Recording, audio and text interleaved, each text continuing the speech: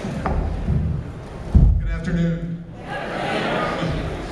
My name is Dr. Branko Radulovacki, and you said it very well when, when you pronounced it. Um, I go by Dr. Rad. Dr. Rad. Um, it's wonderful to be here. It's wonderful to be among so many Democrats.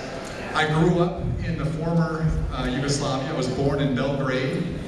The age of four, my family and I moved to Africa. We lived in the Khartoum, Sudan.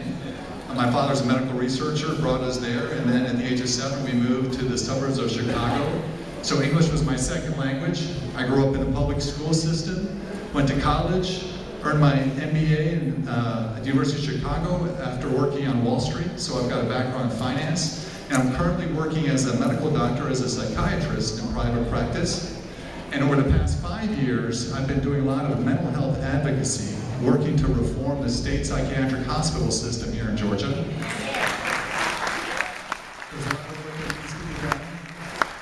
And I'm working with statewide organizations like NAMI, Mental Health America, and the Carter Center. And together, we were able to uh, provide some, produce some wonderful results. We were able to get the state to put in $50 million to help reform the state psychiatric hospital system and increase the community supports to help those who are most vulnerable in our society.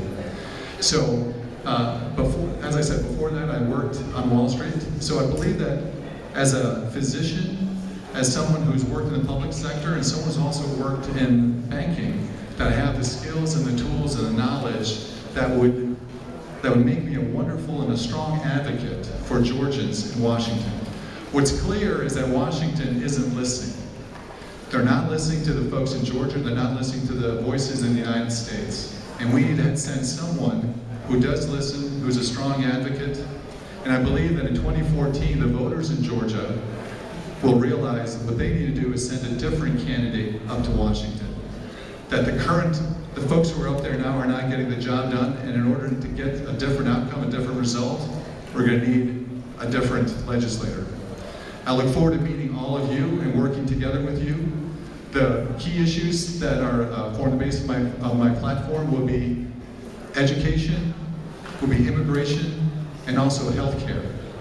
I, I strongly believe that when we are able to solve problems related to education, immigration, and healthcare, that that builds a stronger, stronger working class, stronger economy, and that creates opportunity for all Americans, not just a small segment, but all Americans. So I'm ready to be your next senator, and as I've heard many people say recently, that Georgia needs a new senator, but Washington really needs a psychiatrist. So,